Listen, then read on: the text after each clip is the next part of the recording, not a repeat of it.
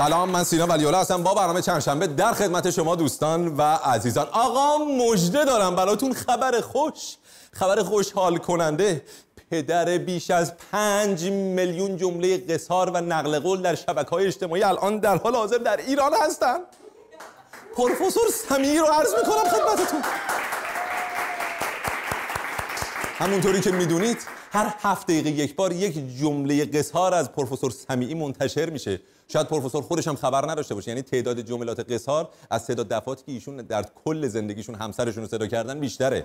ولی این دلیل نمیشه که این جملات واقعی نباشه که ایشون به هر حال ممکنه. حالا خیلی از دوستان پروفسور سمیعی رو به خاطر اینکه ایشون یکی از بزرگترین جراحان مغز و اعصاب هستن نشناسن. ولی حتما به خاطر نقل قولهاشون و جملات قصارشون در باب آشپزی و گلدوزی تو شبکه‌های اجتماعی یه آشنایی باهاشون داشته باشن. حالا جدا از این قضیه پروفسور سمی در یک مصاحبه یک حرکتی انجام دادن که واقعا قلب هزاران جوون ما رو شیکوندن و من اصلا ازشون توقع نداشتم. ایشون در یک مصاحبه اعلام کردن که تمامی جملات قصاری که از من توی شبکه های اجتماعی منتشر میشه جعلی هست و من نگفتم. این درسته آخه. این درسته پروفسور. پروفسور. این کار درسته. قلب هزاران جوون بیکار و علاف ما رو که شب تا صبح میشینن این جفنگیات رو به هم میبافن تو شبکه اجتماعی به اسم دیگران منتشر می‌کنن. اینجوری شما قلب اینا رو بشکنید روحشون رو جریه دار کنید. فکر اینو نمی کنید دنبال مریض میگردین برای آینده که اینا دچار بیماری های روحی بشن. با این قلب شکستشون. این حرکت درسته؟ شما از کجا می‌دونی این جملات رو نگفتی؟ مسلما عمل جراحی مغز و اعصاب کار خیلی بسیار پرمشغله و سختیه. شما حواست نبوده ممکنه خیلی چیزا گفته باشی خودت نمی‌دونی. بچه ها بهتر می‌دونن. شما اصلا اینستاگرام داری؟ شما اصلا نمی‌دونم تلگرام داری؟ چند تا فالوور داری اگه داری؟ نه دیگه نیست که اینجوری نیست دیگه. بچه ها بهتر می‌دونن. این حرکت رو نکنید دیگه. تکذیب چی آقا؟ چرا تکذیب می‌کنی؟ تکذیب نداره که. بپذیر دیگه. شما دیدی کوروش بیا تکذیب بکنه؟ این همه جملات قصار از کوروش اومده. یکی از مهمتریناش هم این بود فارسیوان بنیان خانواده ها رو شل کرده. مرگ بر فارسیوان کوروش کبیر. این یکی از نیومده که این حرکت حرکت درست نبود پروفسور. من اصلا از شما داشتم پروفسور نکن دیگه از حالا خدمتتون عرض بکنم اما یک فرصت مختنمی الان دست داده به نظر من دو دستی بچسبیمش اونم چیه؟ اینه که تا پروفسور اینجا هستن این فرصت رو ما داریم که بتونیم چند تا مریضی رو به اسم خودمون ثبت بکنیم. دیگه تا کی تمام مریضیات و دواها و داروها به اسم خارجی ها باشه؟ دیگه وقتشه یه مریضی حداقل به اسم خودمون منتشر بکنیم. ببخشید کشف بکنیم بعد منتشر بکنیم اسمش رو مثلا مریضی من غلام رضایی دارم مثلا. خیلی این حرکت حرکت خیلی خوبیه. بذاریم چند تا مریضی به اسم ایرانی ها ثبت بشه. حالا چه جوری می‌تونیم این کارو انجام بدیم؟ میرید یه جو کمین می‌کنید. پشت بوته شمشادی درختی چیزی. یکی از این زامبی های اینترنتی رو با گونی چیزی می‌گیرین می‌برین خدمت پروفسور ایشون رو مغز اینا. پنج دقیقه وقت بذاره من مطمئنم ده تا مریضی پیدا می‌کنه. این کم چیز اینا از این فرصت استفاده بکنید. چون به هر حال کجای دنیا شما دیدید که مثلا یه فوتبالیستی رو به خاطر عوض کردن تیمش هجوم ببرن رو صفحش و هزاران فوش و توهین و ناسزا و بی احترامی بهش بکنن. براش آرزوی مرگ بکنن و برگردن بگن کاش مثلا تو مرده بودی به جای هادی نوروزی. بعد به محض اینکه خبر فوتش منتشر بشه همه این افراد اینا عکس های پروفایلشون رو عوض بکنن به عکس مهرداد و در سرزنان و چنگ بر صورت کشان حمله بکنن به سمت کجا میری؟ حمله کردن به سمت بیمارستان. بگیر بیشین آقا کجا داری بیمارستان عزیز. عزیز دل من. بیمارستانه. بیمارستان. اسمش روش مریض اونجا خوابیده. اینجوری هجوم بردی آدم یاد فیلم د واکینگ دد این مردگان متحرک میفته بعضا اون خیلی رومانتیک تر بود. این این شما خودتون عکس رو مقایسه بفهمید. این عکس دوستان هست اینم عکس مردگان متحرک. خودتون شباهت رو ببینید البته این شور و شعف و خنده ای که روی لبهای بچه های ما می‌بینید روی مردگان متحرک نمی‌بینید. یعنی این عشق و علاقه نه به مرداد خدا بیامرز. به عکس گرفتن با چهره های مشهوری که فوتبالیست هایی که اومده بودن برای خداحافظی با هم بازیکنشون هم بازیشون در واقع این واقعا مثال زدنیه. واقعا زیباست. واقعا آدم تمام وجودش پر از شعف و شور میشه. عکس کالبد شکافی مهرداد تو شبکه اجتماعی دست به دست میشه. عکس کالبد شکافی رو دیگه چی کار داری؟ از کجا پیدا کردی اصلا؟ عکس از کجا پیدا کردی؟ اون دیگه چه عکسیه که دارین تقسیم می‌کنید و شیر می‌کنید و واسه هم دیگه فوروارد می‌کنید؟ اینقدر دیگه ارزش برای البته حالا زیادم نمیشه توقع داشت از بعضی از دوستان. که از خیر عکسای کالبوچه کافی یک فوتبالیست بگذرن. وقتی یک همچین دابسمشی مثلا تو شبکه اجتماعی منتشر میشه. وای چقدر مستم من ببین بدنم رو رفتم کمرم وای چقدر من فقط امیدوارم اون پا پای آدمیزاد نبوده باشه. و اگرم پای آدمیزاد بوده من خیلی دلم می‌خواد اون مریض رو بعد از این عمل جراحی موفقیت آمیز ببینم پا داره. و همچنان می‌تونه راه بره. دابسمش تو اتاق عمل. بعد خدمتتون عرض بکنم دابسمش هم چیزی نیست که بچه ها تو یه بار بتونن بگیرنش. معمولا ده 15 بار باید تمرین کنن تا بتونن یه دابسمش رو سینک و درست بگیرن. من فکر کنم این مریض بیچاره تو اون یه ساعتی که بچه ها داشتن این دابسمش رو ضبط می‌کردن قانقاریا گرفته پاش بعد چه, چه حرکتی؟ از پروفسور پروفسور سمی کجایی؟ بیا یه جمله قصار در این باب بگو. چرا چیزی نمیگی؟ یه حرفی بزن پروفسور خدمتتون عرض بکنم که حالا نرده و نرده های بیمارستان و فوتبال و هجوم و این چیزها رو دیدیم. یاد یک نوشته ای از مرشال مرتضوی افتادم در رابطه با اینکه خب فوتبال یک ورزش بسیار پرطرفداریه در سراسر جهان. اما تو کشور ما یک اهمیت خیلی خاصی داره. اصلا یک محبوبیت خاص و متفاوتی داره. به خاطر اینکه ما که مثل خارجی ها همینجوری 22 نفر نمیافتیم دنبال یه توپ مثلا فوتبال بازی کنیم که ما هزاران مسئله فرهنگی هنری ادبی دیگه نمی‌دونم ورزشی ورزش ورزش های مادر دو میدانی خود مادر و مسائل مختلف همه رو با هم دیگه ادغام می‌کنیم تو یک مسابقه فوتبال. و این کم چیزی نیست. برای مثال همین جمعه گذشته بازی استقلال اهواز و پرسپولیس که توی اهواز در حال برگزاری بود بازی با یک شور هیجان خاصی شروع شد. تماشاگرها تصمیم گرفتن برای پاسداشت خدمتتون عرض کنم که یکی از شاخه های ورزش دو میدانی که ورزش مادر هست پرتاب دیسک و وزنه داشته باشن. اما خب برای دیسک و وزنه نبود. هرچی پاراجور و سنگ بود از این برای استادیوم مینداختن به اون برای استادیوم. رکورد ها بود که شکسته می‌شد به اضافه سر و دماغ و دندون و برای کله دوستان که به هر حال در مسیر قهرمانی فدای سرمون. خدمتتون عرض بکنم که در طول بازی مسابقات و ورزش های بومی زیادی در جریان بود. یک تلفیقی بین کاراته جودو و کنفو در واقع یا کنفو ببخشید عذرخواهی می‌کنم از رزمیکاران عزیز بین فوتبالیستا در جریان بود به همراه مارپله. مارپله به این صورت که هر بازیکنی بیشتر میپرید بالا اونایی دیگه نیشش می‌زنن بعد میول از پایین دوباره شروع می‌کرد. و خدمتتون عرض بکنم که این در طول مسابقه بود. اصلا این ادب و زبان فارسی عجین شده با ورزش ما مخصوصا فوتبال. تماشاگرها یک صدا به شعرخانی مشغول بودن. اونم شعرهایی با مزامین زیبا و تاثیرگذاری در زمینه سله رحم و ملاقات با خانواده بازیکنها و داورها. بسیار زیبا و تاثیرگذار و خدمتتون عرض بکنم که بعد از بازی حتی دوستان تماشاگرها دست به دست همدیگه نه نه نه نه استادیومو تمیز نکردن نه ما که کره که نیستیم که بخوایم استادیومو تمیز بکنیم. بچه با دوباره یک حرکت در پاس داشته. یکی دیگه از شاخه های ورزش دو میدانی پرش از روی نرده. بچه ها از روی نرده هجوم بردن توی زمین فوتبال و یکی از بازی های بومی محلی ما به نام گرگن به هوا رو با بازیکن‌ها داشتن اجرا می‌کردن. بازیکن‌ها از این ور می‌دویدن اینا دنبالشون با سنگ و پاراجور یک صحنه زیبا و قشنگی بود و گذار اصلا تمام وجود آدم موهاش سیخ سیخ وای میستاد می‌رفت تو پتو پهلوی خود آدم. و چقدر زیبا و قشنگ. به اضافه اینکه خب ما هنرمندانمون هم اونجا بی‌نصیب نذاشتیم. رامین راستاد هم که یکی از بازیگرای خوب سینما و تلویزیون کشورمون و طرفدار تیم پرسپولیس اونجا حضور داشت. ایشون رو هم بعد از اینکه بچه‌ها باشون سلفی های خوبی گرفتن با سنگ و پاراجور حسابی حالشون رو جا آوردن که دفعه آخرشون باشه طرفدار یه تیمی میشن که بچه ها طرفدارش نیستند. چون به هر حال این یه نوع اعتراض منطقیه.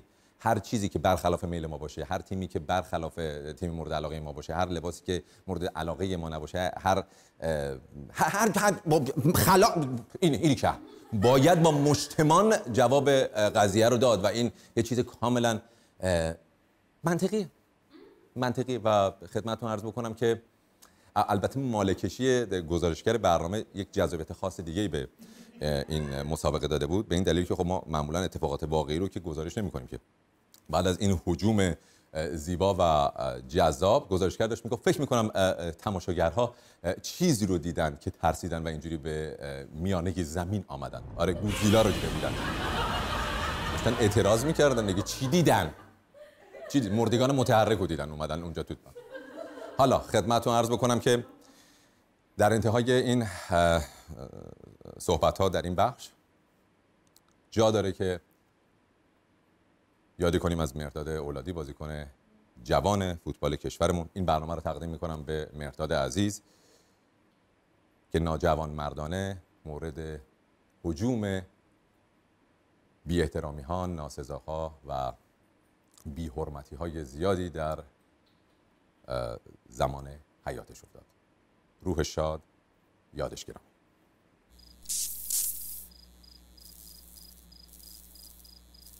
رسیدیم به بخش پندگونه یکی از بخش‌های بسیار پرطرفدار که مدت طولانی هم بود در برنامه نداشتیم. حالا با سبک و سیاق جدید و فرمت جدید این بخش رو آماده کردیم. یه مقداری هم با شرایط و اتفاقات هفته گذشته همخانی داره. ببینیم. یه روز خیلی قشنگ از فصل بهار بود که پرنده داشتن آواز میخوندن آوازشون هم خیلی قشنگ بود. هیچی دیگه خلاصه آوازشون رو ادامه دادن و همون موقع هم گلا داشتن میرخصیدن ای بابا وحشی. ایشون استاد کاکتوسیان هستن که دارن میرن پارک هنرمندان یه اثر هنری خیلی بزرگ خلق بکنن. خلاصه شروع کرد به نقاشی کشیدن. استاد شما پیرو مکتب چرت پرتیسمین استاد این رنگ آبیه دیگه درسته؟ همینطوره؟ بچه این رنگ قرمز دیگه مگه نه؟ قارقارم قارقار قارقار قارقارم قارقار قارقار قارقار سه. عجب اسکلی یا خلاص استاد کاکتوسیان خسته شد و داشت می‌رفت به طرف دل طبیعت. دل طبیعت هم انقدر پستی بلندی داشت که نکن استاد قلموش دوباره در آورد و شروع کرد کوه رو کشیدن. یک آدمک خوشگل هم کشید. استاد جان یک دونه جزیره هم بکش که اونجا زندگی کنه. جون من. آفرین ای بیشور. بی فرهنگا. موز می‌خوری خب موز نخوری. خونک استاد تصمیم گرفت یه دونه عکس از محصل زندگیش بگیره و همون شب اونو بذاره تو شبکه های اجتماعی. گذاشت و خلاصه خوابش برد. استاد جان یه دونه لایک.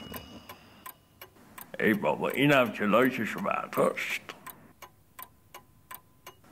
و در این لحظه بود که استاد دار فانی را وداع گفت و همینطور داشتن میبردنش تشییع جنازش کنن. و در یک روز سرد بهاری اینا کیان؟ اینا کجا بودن اون موقع؟ استاد کجایی ببینی؟ چه جمعیتی؟ اینا هم که سلبریتی هم که اومدن استاد تنها نباشه. ای بابا یکی کولی بازی های اینو جمع کنه نه به اون موقع نه به الان. اینم page استاد خدا بیامرز. ببین چه like و کامنتی هم بود این روزا هم همه پروفایلاشون عکس استاد گذاشتن. بیا بریم یه سری هم به توییتر بزنیم ببینیم چه خبره. خب اینم که اینو گفته و اینم که این عکس رو خاک تو سرت کنن گذاشته. بله کامنتاش هم که مشخصه. استاد جان نزن. نزن قربونت برم.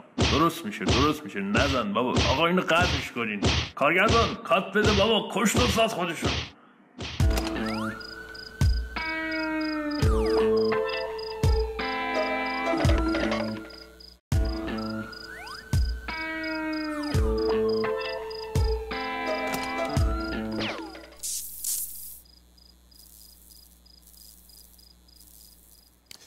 میساق. درست صحبت کن با من. یه بار دیگه دارم میگم میساق عزیزم. می‌خوام واسه چیزی بگم. عادت ندارم با من. خوردی؟ هر سری من حرف می‌زنم تو انقدر مهاجمانه به من مهاجمانه، ها؟ تهاجمی؟ عاشقانه. میساقه عزیزم. می‌خواستم بگم شنیدی چه اتفاقی افتاده؟ جدیدن دوستان میرن آیدی های فیک و تقلبی درست می‌کنن. به اسم جدیداً. هنرمندا. بعد میرن زیر صفحه هنرمندای دیگه فوش میدن توهین می‌کنن بی احترامی می‌کنن. این اتفاق افتاده. هفته گذشته یه نفر با آیدی سحر آیدی تقلبی سحر خواننده خوب و دوست خوبمون که تو برنامه ما حضور داشته مشاعره. رفتن زیر صفحه امیر تتلو بهش بی احترامی کردن توهین کردن و نوشتن که ای کاش جای مرداد اولادی تو مرده بودی. یعنی من نمی‌فهمم آرزوی مرگ کردن برای دیگه آخه این چه حرکتیه؟ چون زیر صفحه مرداد اولادی خدا بیامرز هم هزاران پست اینجوری هست که ای کاش جای هادی نوروزی تو مرده بودی. آخه این درسته واقعا. این چه حرکتی انجام می‌دید؟ چه شادی و چه شعف و چه شوری تو این هست که دل یه هنرمند رو که برای شما سرگرمید و انرژی می‌ذاره کارهای مختلف منتشر می‌کنه موسیقی می‌سازه برنامه می‌سازه. اینجوری دلش رو بشکنه این چه حرکتی من واقعا نمی‌فهمم. خیلی هم دارم جدی میگم فکر نکنید حالا احیانا من همیشه شوخی می‌کنم. کاملا جدی ام من الان. اصلا منم یه دفعه. تو هم ترسیدی ها؟ ترسیدم. من حالا متاسفانه امیر عزیزم این پست رو روی صفحش گذاشته بوده و نوشته بوده که من واقعا چی باید بگم به هم چیزی؟ متاسفانه ای کاش امیر قبلش چک می‌کرد. چون مطمئنم هیچ هنرمندی هیچ هنرمندی نمیره به یک هنرمند دیگه یه همچین بی احترامی رو بکنه. ای کاش چک کرده بودن و می‌دیدن که این آیدی و این اکانت فیک هست. متاسفانه یه تعدادی از یه تعدادی بیشماری حمله بردن زیر صفحه سحر. بی احترامی کردن به پدر خدا بیامرزش بی حرمتی کردن. عکس های خودش و مادرش رو با فتوشاپ روی عکس های مستحجن دیگه مستحجن دیگه رو درست کردن و گذاشتن و واقعا ناراحت کننده است این قضیه. من نمی‌دونم این شبکه های اجتماعی شده بلای جون همه و هی هم دوستان میگن اینقدر راجع به این قضیه صحبت نکن. خب واقعا جا نداره من صحبت بکنم راجع به این قضیه. این درست مثل اینه که من مثلا صحبت در خونه بیام بیرون مثلا یه کوچه خلوت ورود ممنوع ببینم بندازم توش گاز بدم که برم بعد پلیس منو بگیره. جریمه بکنه فردا دوباره بیام ببینم کوچه خلوت دوباره بندازم توش پلیس منو بگیره. آقای پلیس ما رو گرفتی؟ آدم حامله رو جریمه می‌کنه. دقیقاً. آدم دیروز گرفتی ما رو جریمه‌مون کردی دیگه. دوباره می‌خوای امروز منو جریمه کنی؟ نکنه فردا هم بیام می‌خوای منو جریمه خب هر بار که این خلاف رو انجام بدیم باید راجع بهش صحبت کرد باید اشاره کرد بهش. و این حرکت درستی نیست. تو هم نکن از این کار حالا یه اتفاق دیگه هم افتاده جدا از این قضیه.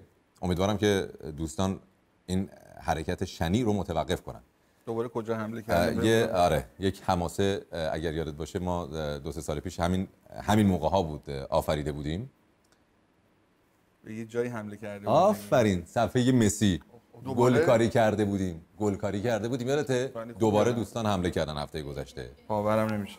این دفعه چرا؟ این دفعه به این دلیل که مسی تصمیم گرفته بود صفحه فیسبوک دیماریا هم بازیکنی خود هم, هم تیمی خودش رو توی آرژانتین تیم ملی آرژانتین معرفی بکنه چون تازه به اینستاگرام پیوسته. عکسی رو که انتخاب کرده بوده عکسی بوده که زمان گل زدن به ایران داشتن شادی می‌کردن. دوستان هجوم بردن اونجا. یه سله رحم زیبا رو از خانواده دیماریا و د- مسی به جا آوردن. ببینیم یه سری از کامنت ها رو. خودش هم خب ببین خودش دلش تو می‌خواد. حرف نزن راجع. بعد وقت میگه چرا اینجوری اون حرف می‌زنی خودش دلش می‌خواسته؟ نباید اون عکس رو میذاشت دیگه. خودت یکم کن. این همه عکس اد همون بازی ایران رو گذاشته. بریم ببینیم حالا. می‌بینی؟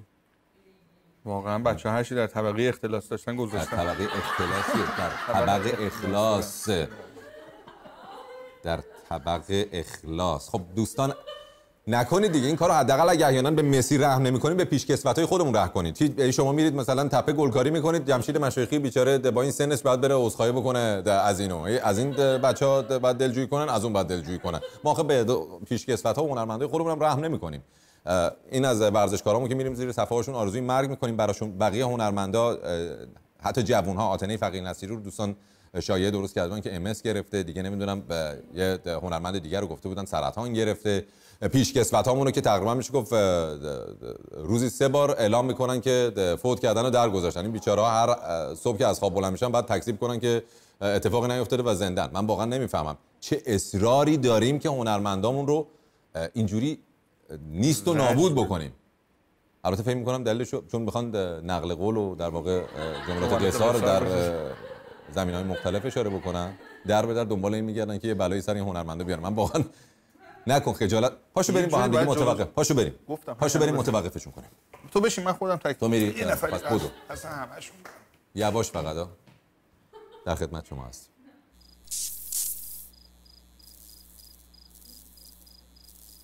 اما مصاحبه این هفته و مهمونی که قرار این هفته در خدمتشون باشیم. رفتیم سراغ یکی از دافای قدیمی به قول امروزی ها یکی از خوشگلترین و جذابترین خواننده ها و هنرمندان قدیمیمون که در زمان خودش کلی هم ساختار شکنی داشته.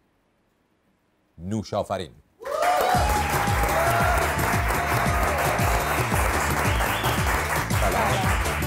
می‌کنم بفرم بفرم ماشاءالله بزنیم به تخته. داف می‌دونی چی؟ داف شنیدین؟ از داف های قدیمی هستین شما در واقع. داف دخترای خیلی خوشگل رو دخترای دخترای خیلی خوشگل لوند جذاب رو میگن داف. لوند جذاب. قدیما بهش چی می‌گفتن؟ می‌گفتن دختر خوشگل ما داف ما یعنی. واقعا هلو. آفرین. هلو. هلو می‌گفتن واقعا؟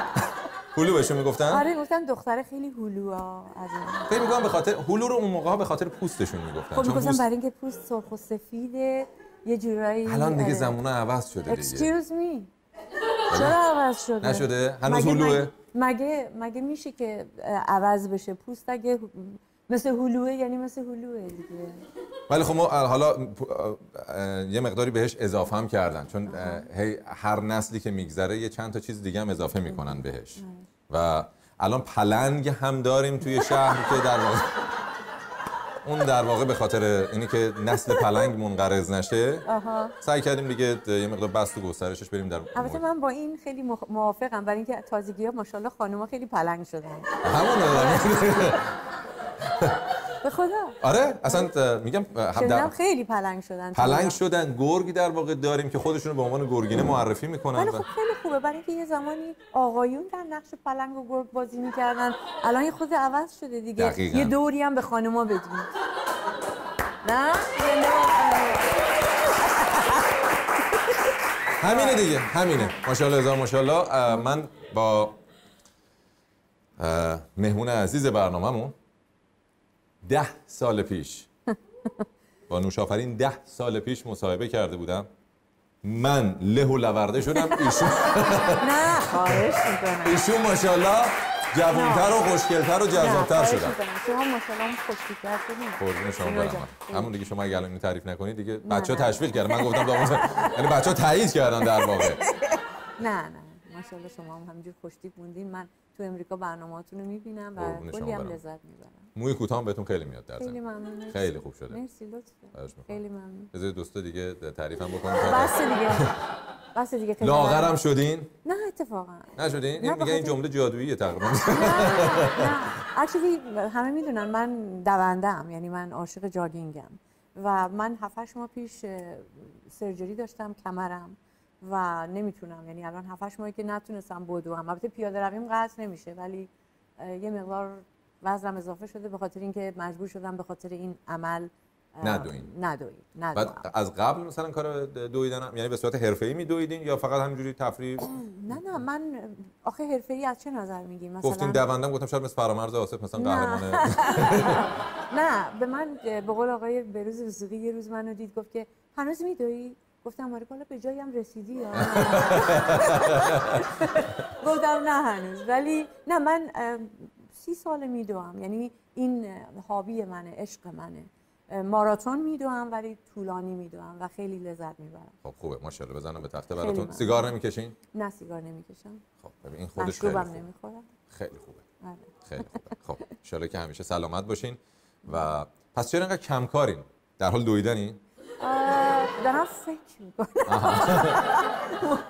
موقعی که می- میدوم فکر می‌کنم. کم کار که من این سال گذشته دو تا آهنگ به بازار دادم که البته اینجوری که میشنوم مورد توجه قرار گرفت. با تو با تو واسه من زندگی فوق العاده شد. هر چی سختی با تو واسه من چه ساده شد. لحظاتم پیش تو قشنگ و شاعرانه شد. از تو گفتن واسه من دلیل این ترانه شد. کاری به اون صورت قابل توجه نمیشنوی این روزا. که به سن سال من بخوره که من بخونم. متاسفانه یا خوشبختانه الان بیشتر بچه های جوون active هستن و اینا دارن کار می‌کنن و آهنگا خیلی club ی شده. درسته منم خب آهنگام اکثرا شاده ولی یه جورایی خب باید صبر بکنم بشنوم. محبت دارن از ایران برام خیلی آهنگ میفرستن. ولی چیزی که به دلم بشینه که بدونم که مردم باهاش یک رابطه ای برقرار می‌کنن. چون اینکه هر ماه بخوای آهنگ بخونی و یه ویدیو بدی ولی بیاد و بره آخه فایده ای نداره. نه اون که صد درصد. ولی خب میگم با توجه البته خوبه که نسل جدید دارن الان کار می‌کنن آهنگ های مختلف بیرون میدن و موسیقی در واقع داره رشد می‌کنه. این نکته مثبتش موسیقی هست. رشد نمی‌کنه. نمی‌کنه؟ نه. به من گفته بودن؟ اطلاعات غلط دادین چرا به من آخه؟ نه موسیقی رشد نکرده متاسفانه. ما انگار که داریم همینجور درجا می‌زنیم. مردم اصلا اهمیت نمیدن به کار. یعنی مردم مردم ما عادت کردن که تو گذشته زندگی کنن چهار نفر که باش خاطره دارن همینجور سینه زنی راه میفتن دنبالش. اگه کار بد بده نمیگن چرا. کار خوب بده نمیگن چرا. آهنگ رقصی باشه پا میشن باش میرقصن. اصلا کاری ندارن شعر چیه آهنگ چیه. مردم باید مردم ما باید اهمیت بدن به این کار. شما درست میگی. ولی مردم یه نکته دیگه هم هست حالا اشاره کردین. اینم یکی از ایپایی هستش که خیلی اتفاق میفته. اینکه ما معمولا چهار تا یا دو تا یا سه تا چیز خوب رو نمی‌تونیم با هم داشته باشیم. وقتی یه چیز خوب جدیدی میاد اون چیز خوب قبلی حتما باید نابود بشه. یعنی دیگه نمیشه مثلا این خوبه اینم خوبه. این حتما باید مزخرف باشه تا این خوبتر باشه. یعنی این یه اه، فرمولیه که متاسفانه حالا امیدوارم در آینده این مشکل رو نداشته یه باشیم نفر بیاد ما رو نجات بده. آره دقیقا. الانم فکر می‌کنم کارگردان می‌خواد شما رو از دست من نجات بده. برای همین اشاره می‌کنه که یه سر به اتاق فرمان بزنیم بعد دوباره ولی فکر خدمت. می‌کنم شما رو داره از دست من نجات میده. فکر نمی‌کنم.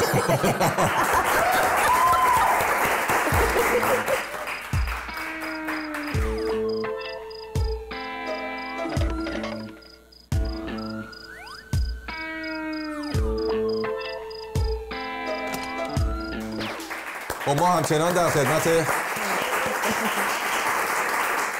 موشافرین عزیز هستیم. موشافرین علاوه بر یکی از هنرمندهایی هستش که در همه زمینه هم فعالیت کرده. یعنی یه حرکت انقلابی رو داشتن.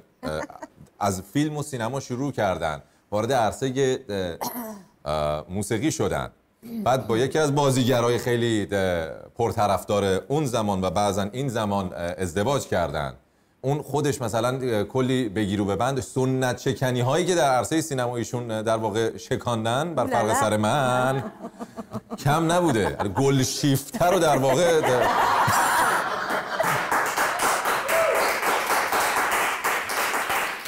خدا رو شکر که ما یه کاری کردیم که شما بلد باشین یه چیزی بگیم خب خیلی خوبه. خیلی خوبه. والا. والا اونو واسه ما تعریف می‌کنین چه جوری اتفاق افتاد. الان. الان چیز یادم من مدرسه الان کدومو دارین. تعریف می‌کنین؟ من من خودم الان- می‌خواین سعید رو تعریف بکنین یا خب، فیلم رو تعریف کنین اول از؟ فیلم شروع کنیم. از خب آره دیگه. اول آره. باید از فیلم شروع کنیم بعد بیایم آره خب یادمه که من مدرسه می‌رفتم اجازه بدین من اینجوری بشینم مثلا اینجوری- اونجوری خیلی بده. اینجوری بده. آره. چه جوری آدم بد الان برای شلوار شیک بپوشه اجازه بدین. بعد من پاشو نه نه. راحت اینجوری خوبه؟ آره. الان تعریف کنین. خدای من. خلاصه یک فیلمی بود به اسم شورش. بله. که احتیاج به یک هنرمند یعنی هنر یک دختر جوان بود که من رفتم و قبول شدم.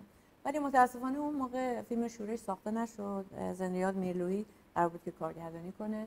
و همون موقع من با یه سری بچه‌ای که تازه وارد سینما شده بودن آشنا شدم و یه فیلمی داشتم به اسم قصه ماهان که این فیلم در ماهان اتفاق افتاده بود و یه لاو استوری بود تقریبا که از من خواستن که من این رول رو بازی کنم. این فیلم یه صحنه ای داشت که یک, یک پسری بود که دیوونه بود و عاشق این دختر بود و موقعی که دختری میره هموم این آقا باید از بالا اینو نگاه کنه.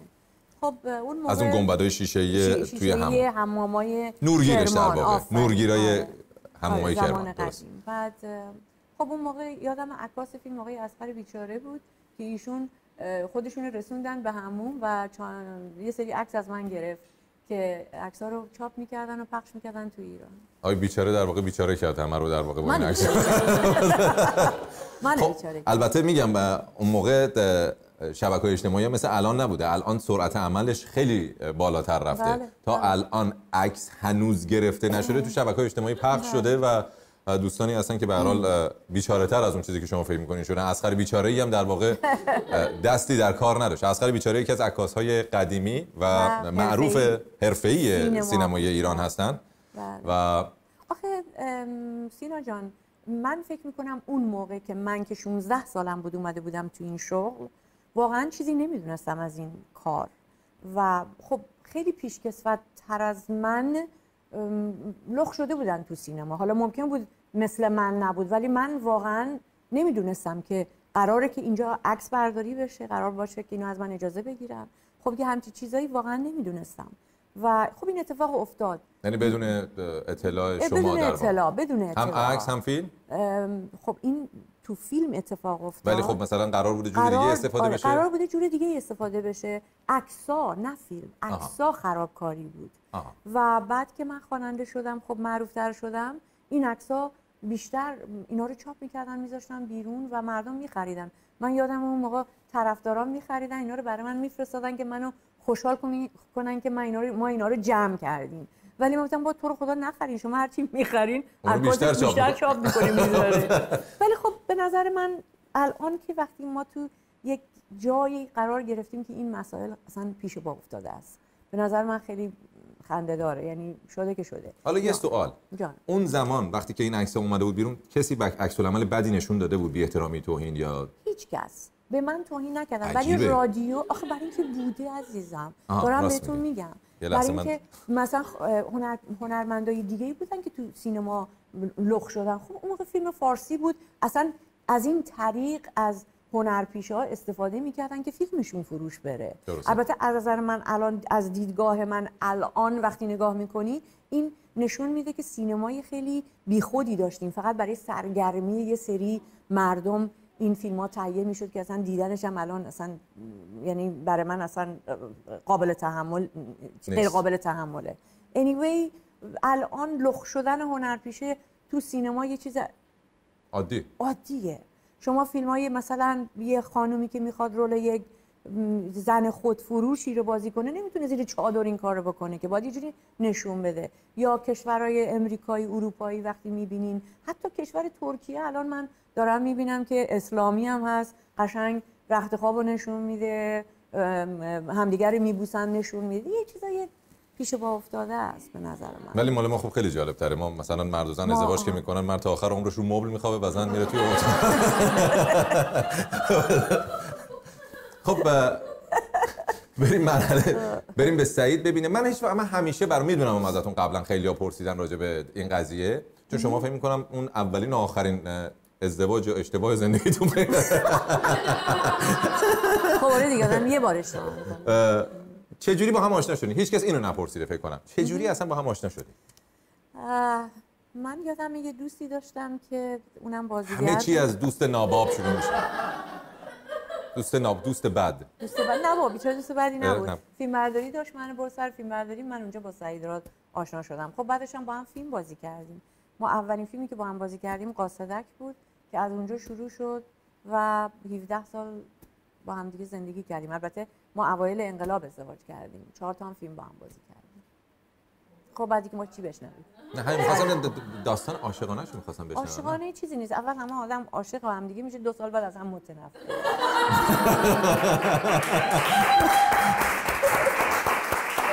واقعا درس زندگی بودین. این درس. زندگی. این برای همه صدق نمی‌کنه. بلکه خب. بعضی مثلا من دوست دارم که چهل سال با هم ازدواج کردن و عاشقانه همدیگه رو دوست دارن چون با هم رفیقن. این خیلی مهمه که زن و شوهر با هم دوست باشن. شما نشده بودین. نه دیگه که ماشاءالله بود. اصراری هم داشتین برای 17 سال. من اصرار نداشتم اکچولی من متاسفانه یه زمانی بود که من اه، خانم‌ها اونقدر قدرت نداشتن که بتونن جدا بشن. وگرنه من دو سال بعد از ازدواجم می‌خواستم جدا بشم که نشد. خب حالا اشکال نداره. خودتون ناراحت نکنید. نه ناراحت. من از هیچ چی که گذشته ناراحت نیستم.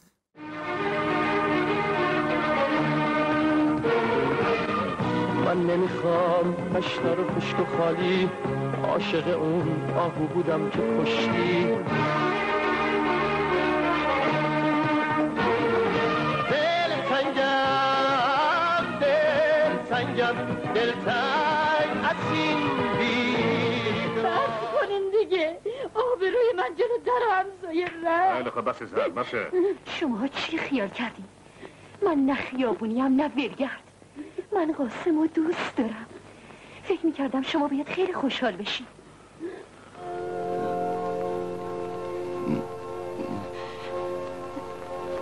جلو نیایی اگه جلو بیاین چیخ می‌زنم. اشکالی نداره ولی ولی من نمی‌خوام شما را اذیت کرده باشم. اما بد نیست بدونی که که تو این فصل سال کسی این اطراف نیست. تو این خونه فقط فقط من هستم و شما. اگه شما قصدتون اذیت کردن من نیست پس واسه چی من آوردین اینجا؟ من من من, من هیچ جوابی ندارم به سوال شما بدم. قرار فردا بیان صحبتشونو بکنی. تو خدا یه فکری بکن. ناراحت نباش. تا فردا ممکنه یه پولی برام برسه. از کجا؟ به اونیش دیگه کاری نداشته باش. همین قبل بهت بگم واسه خاطر تو کاری کردم که هیچ وقت فکرشم نمی‌تونستم بکنم. حالا فردا دیگه حتمی. باز پس فردا و پس اون فردا نمیشه. تو خیال می‌کنی؟ من دلم کمتر از تو شور می‌زنه. حال مادر چطور؟ روز به روزم بدتر میشه. گرفتاریمون که یکی دوتا نیست. اگه دو سه ماه قبل پا پیش گذاشته بودی راحت تر بود. تو خودت گفتی نیا یک سوال دیگه دارم. خب با توجه به اینکه شما تجربه بازیگری زیادی هم دارید. هیچ وقت فکر کردید چون مثلا سعید راده عزیزم مدت های مدیدی بود که ایران نبودن و کار بازیگری رو وقتی دوباره مثلا چند سال پیش برگشتن شروع کردن. شما هیچ وقت فکر کردین که برگردین و شروع کنین؟ چون الان آقای ناصر ملک موتی هم توی فیلم بازی کردن حضور داشتن. خیلی از بازیگرا بودن که برگشتن و دارن کار بازیگری رو انجام میدن. حالا همه بیشتر دوست دارن بهروز وثوقی مثلا برگرده.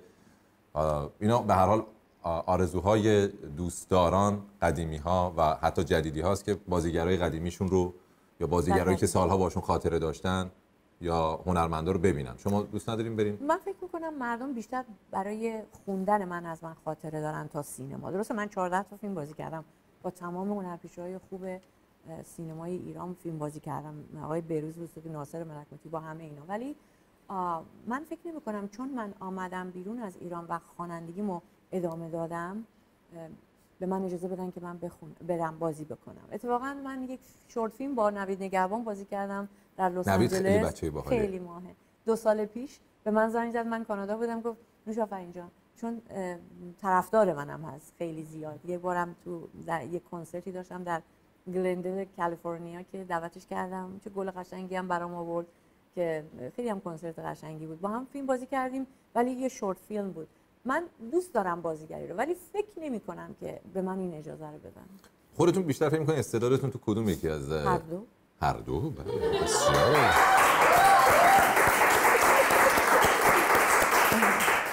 خب ورزشکار که هستید بازیگر و خواننده هم که هستید دیگه چی می‌خوای؟ ما معمولا با آخر خوشگل و خوشیکل و دیگه Oh my خوشتیپ هم که. هستیم دیگه اختیار ما. معمولا با مهمونمون یه بازی می‌کنیم آخر دقیقاً. همون. آها. همون. اجازه بدین اونو من سورپرایز داشته باشم.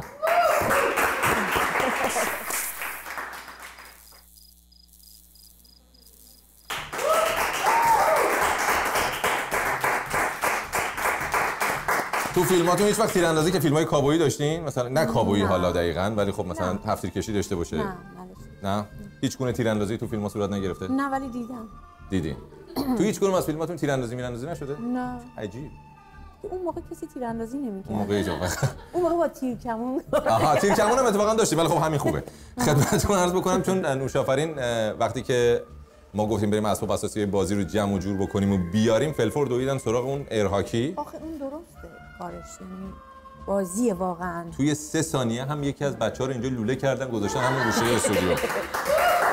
برای همین ما گفتیم بذار همین رو بازی کنیم باشون این خدمت شما سی ثانیه فرصت دارید هر چهار تا رو بزنید. هر کی سریعتر بزنه حاضر باشین یه لحظه. سه دو یک. یک دو سه چهار پنج شیش هفت هشت نه ده یازده دوازده سیزده چهارده پونزده شونزده هیلده هیجده نوزده بیست.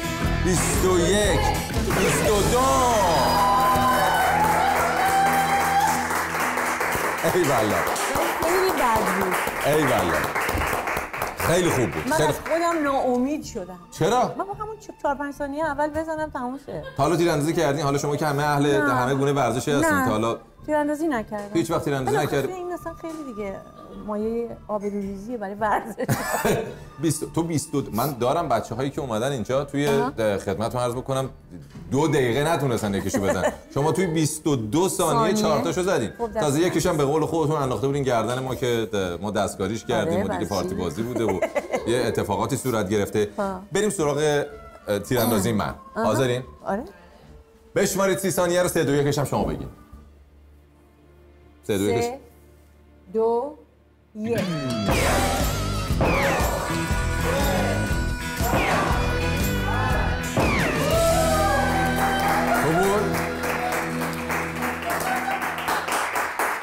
ولی شما بردین ولی چرا؟ برای اینکه این اینجا هست و شما همیشه داری بازی می‌کنی. آره اصلا من کلا صبح و من این زیر میخوابم صبح بلند میشم با اون بازی می‌کنم کلا بالاخره چند تا مگه بازی دارین؟ تمرین کردی من آره خب من. الحق و انصاف میشه گفت تمرین داشته ترم بله. خب طبیعیه دیگه من اگه بیام خونه شما. شما بیشتر مثلا من بعد بپرسم در اول دست چپ کجاست بله دقیقا ولی شما می‌دونید این در بله. واقع مثلا یکی بله. از امکانات مهمون دعوت کردن تو خونه خودته این آره حسنشه و اذیتش کردن من اذیت ولی شما برنده تشویق کنید واقعا شما برنده شما برم شما حالا اگر لطف کنیم برای ما یه آهنگ هم بخونین. با ما در واقع میشه گفتش که دیگه لذت رو به حد اکثر ممکنه رسوندیم و کلی هم حال کردیم. من از شما خدافظی می‌کنم که دیگه روی سن مزاحمتون نشم. قربون. شما. برم من لطف لطف کردم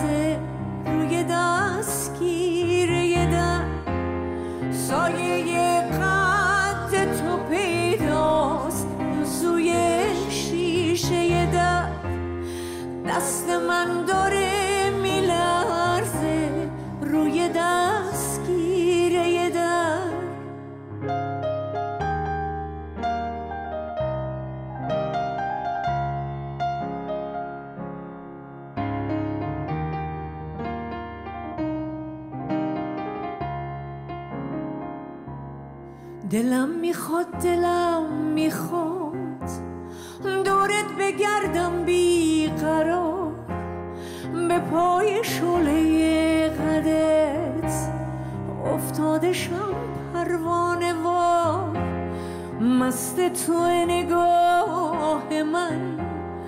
انگار چشم تو می‌خونه است. بدجور دلم دیوونته به جون هر چی دیوونه است. سایه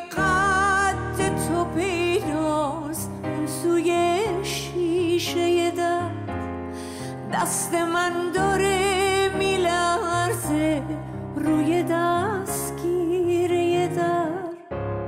سایه قد تو پیداست اون سوی شیشه در. دست من داره میلرزه روی دستگیره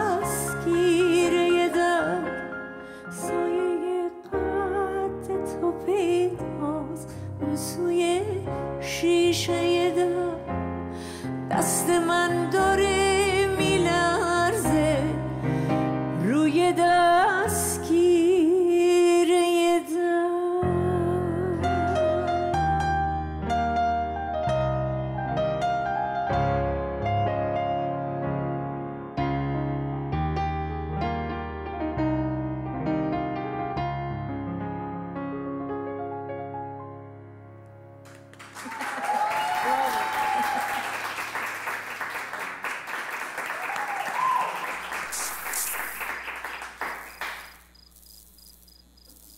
رسیدیم به بخش اداگونه یا همون دابسمش خودمون؟ نه ببخشید دابسمش خودمون نیست. اداگونه خودمون دابسمش اونا.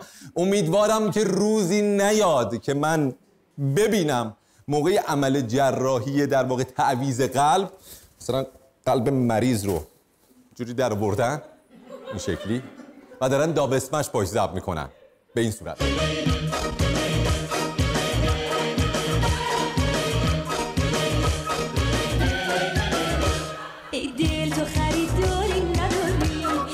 خجالت بکش. خجالت بکش. با قلب مردم با قلب قلب و گرفتی دست دابسمش داری. بزار قلب و سر جاش. بزار قلب و سر جاش خجالت بکش. از اون قسم مندلیوفت خجالت بکش. چی بود اون قسم؟ خجالت بکش. مریض رو ما اطمینان می‌کنیم میریم تو اتاق عمل خدمت شما. آچار پیشگوشی تو پت و پل. بریم دابسمش بچه ها رو ببینیم. Siga moviendo la Marta. Movete, Martita. Movete. کیه؟ حامد بهلانه تو رو می‌بینم دلم میلرزه. میشه نگام کنی. راحت به زندگی.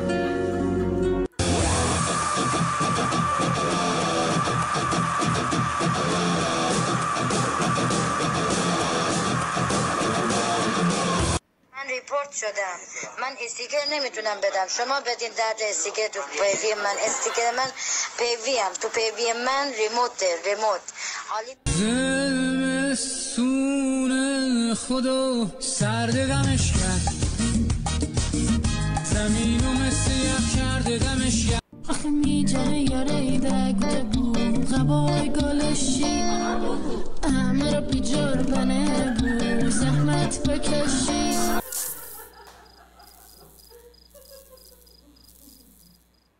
رسیدیم به قرعه کشی این هفته. یا ما رسیدیم یا قرعه کشی رسیدیم. اینو میشه واضح بگی. خیلی برات سوال الان. برای من نه برای بقیه برای من برای تو برای تو سوال نیست ها؟ نه من که تو به. نظر من برو یه دست لباس بگیر. الان دو فصل همین لباس تنته. حداقل تمیزه. پول بده من برم لباس جدید بخرم. الان مشکل چطوره؟ بیپولیه. چون یکی دوتا هم که نیستیم. شش نفر باید با هم عوض کنیم همین خوبه. مشکل بیپولی داری پس. بله میگی نمی‌دونی لپام رفته تو. آخه اصلا هیچ چیز نمونده واقعا به جز 200 کیلو. هیچ دیگه نمونده. خدمتتون عرض بکنم دوستان بارها اشاره کرده بودن که لیست قرعه کشی رو نشون ما بده ببینیم. واقعا واقعا فکر کردین من مغزم ایراد پیدا کرده که بعد برم دست پروفسور سمی مشکلش رو برطرف کنه که لیست رو نشون این همه زامبی بدم توی شبکه های اجتماعی. شماها همتون آدم های فریخته و با فهم و شعوری هستین. یه سری آدم ها هستن ممکنه این دوستان رو اسامیشون رو بردارن برن روی صفحه هاشون بی احترامی کنن توهین کنن. دیگه هزار تا کار می‌تونن انجام بدن. چه حرکت غیر منطقی نه؟ منطقی؟ نشون بدم؟ نشون بدم؟ بچه ها نشون بدم. تو اف بی آی کار می‌کنن پیدا می‌کنن. نگران نباش. خب من نشون میدم اسامی بچه ها رو یه توضیح رو قبلش بگم که این اسامی هر چقدر باشه یعنی تعدادش اگر هزار تا باشه هزار نفر شرکت کرده باشن. این هزار نفر سه بار پشت سر هم تکرار شده loop شده. و من هر بار که roll بکنم ممکنه اون نفرات اول دوباره بیاد. یعنی دیگه بسته به شانسشونه. ما اسامی رو نشون میدیم. جان هر کی دوست دارید اسامی رو بر ندارید برید بلای سر دوستان بیارید. ممکنه خیلی راحت بتونید آیدی های خودتون یا اسامی خودتون رو تشخیص بدید اینجا. خیلی راحت. خیلی راحت. یکم تمیز می‌کردی به نظر من راحتم اون من بعد این. سفر رو با گل در واقع تو گل میپلکوندمش تا دوستان نتونن با خیلی راحت اسامی رو ببینن که هر یک- بسته دیگه. همینقدر بسته. خب خدمتتون عرض بکنم که بریم سراغ قرعه کشی و ببینیم که کی برنده در واقع راحت را... من راحت باشم؟ آره بخون. اسامی رو بخون.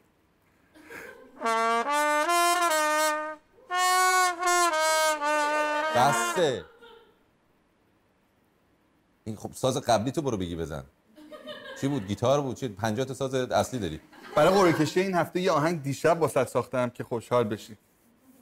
با اون اجرا بکنی. یعنی با این نمی‌زنی همین آهنگو فقط زدم که بهت بگم من آه، اه، بله.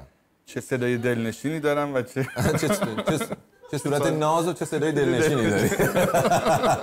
بریم. سه دو یک.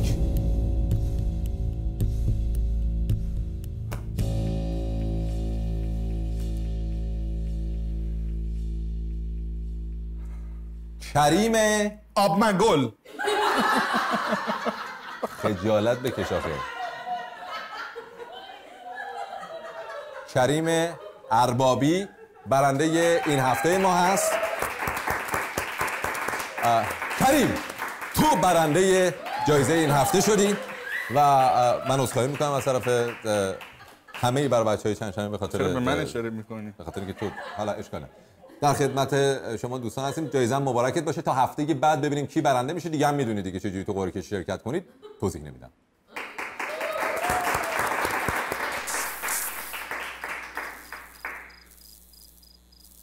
این شهرزاد ما رو که معرف حضورتون هست. این دختر اه، نوجوان ما که الان دیگه دختر خانومی شده واسه خودش و سال هاست که همراه با فارسیوانه و در رابطه با مسائل مختلف اجتماعی فرهنگی خاطرات خودش رو می و شما انیمیشنش رو حتما دیدید.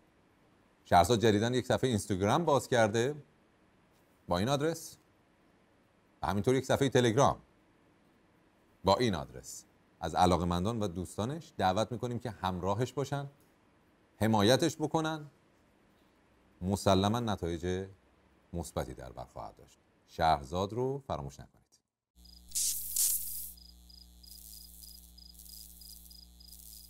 به پایان برنامه این هفته رسیدیم. امیدوارم که این برنامه مورد توجهتون قرار گرفته باشه. خدمتتون عرض بکنم که دوستان عزیز اگر دلتون می‌خواد تو قرعه کشی هفته بعد شرکت بکنید به خدا اگر دلتون می‌خواد دقت کنید اگر دلتون می‌خواد چون دوستان میان میگن مگه زوره؟ نمی‌خوایم پست کنیم عکسو. خب نکن قربون شکلت برم من. نکن دورت بگردم. نکن درد و بلات بخوره تو سر دشمنات عزیز دلم نکن. من برای اونایی که می‌خوان دارم میگم. اگر دلتون می‌خواد قرعه کشی شرکت کنید این عکس انتهای برنامه رو که توی صفحه بنده پست شده الان ازش عکس بگیرین اسکرین شات بگیرین تو صفحه خودتون پست کنید بنده رو tag. یا اگر از اسکرین شات بلد نیستین بگیرین می‌تونین برین توی تلگرام. عکس اونجا برش دارین پست کنین توی صفحه خودتون هم تک کنید یا یا توی فیسبوک فارسیوان لینک یوتیوب برنامه رو شیر بفرمایید بنده رو هم تک کنید. یا توی توییتر یکی از اینا. می‌تونید ریتوییتش کنید. به همین سادگی. به همین خوشمزه. خدمتتون عرض بکنم که امیدوارم که به هر حال دوستان عزیزی که احساس کرده بودن من با تفنگ یا چاقو دارم بهشون فشار میارم که این کارو بکنن. منو به بزرگواری خودشون ببخشن. فکر می‌کنم سوء تفاهم شده. عذرخواهی می‌کنم من. و یه جمله هم بگم. اینم به عنوان حسن ختام برنامه. شما ملزم به شیر کردن یا پست کردن این عکس ها نیستید. شما حتی نیازی نیست من رو تک کنید اگر خودتان نمی‌خواهید. اما اگر آیفون می‌خواهید باید این کار را بکنید. سینا ولی الله خدا